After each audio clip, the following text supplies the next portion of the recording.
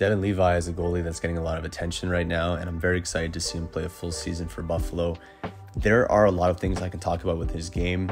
We would be here for a long time if I focused on everything, but there's one thing that really stands out, and he just seems to be very on top of the puck. And I don't know if that makes sense. That's just what that's what comes to mind when I watch him play.